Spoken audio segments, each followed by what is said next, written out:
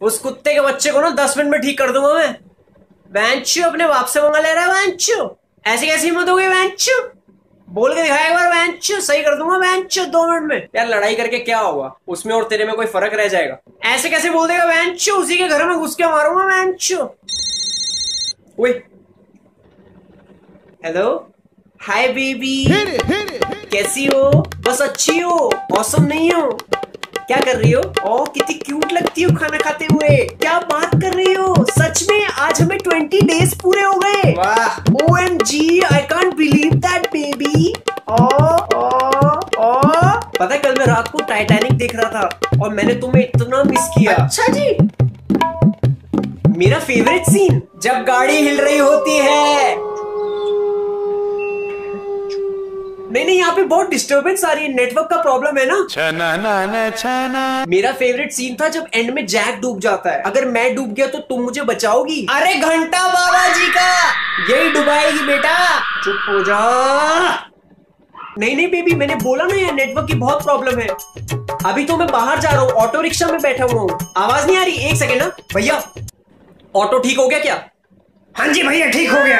तो चलो ना। दो सौ रुपए लगेंगे दो सौ। मैं देता हूँ। अभी चाहिए अभी। पहले चलो तो। हाँ बेबी आवाज़ आई।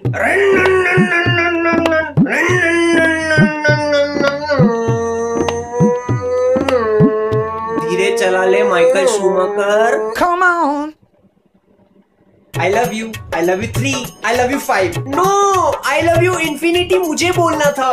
अच्छा बाय अबे तू इससे ऐसे बात करता है? तो क्या हो गया बेंच? भाई हमसे भी कर लिया कर कभी। मुँह में लेगा और तेरा टाइटैनिक का फेवरेट सीन डूबने वाला था।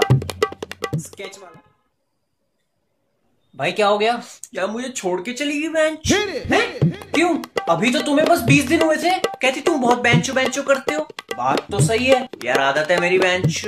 पर हुआ क्या? उस दिन हम स्टारबक्स में बैठे हुए थे। मैंने वेटर से कहा get me to Java chips बेंचो कहती तू वेटर से गालियाँ दे के बात कर रहा है? मैंने कहा डार्लिंग बेंचो मेरी आदत है। बेंचो डार्लिंग कहती तू मुझे भी गाली दे रहा है। और थप्पड़ मार के चली गई। चल कोई बात नहीं तुझे तो वैसे ही एक महीने में दस बार सच्चा प्यार हो जाता है। यार ये वाला 95 परसेंट सच्चा था बेंच और बाकी पाँच परसेंट? पाँच परसेंट बेंचो खा गया ना यार। ओ, यार मुझे देख मेरा दो साल से चल रहा है। इसको कहते हैं सच्चा प्यार। अच्छा तेरा प्यार प्यार मेरा प्यार मियाँ खलीफा। मियाँ खलीफा? मियाँ खलीफा?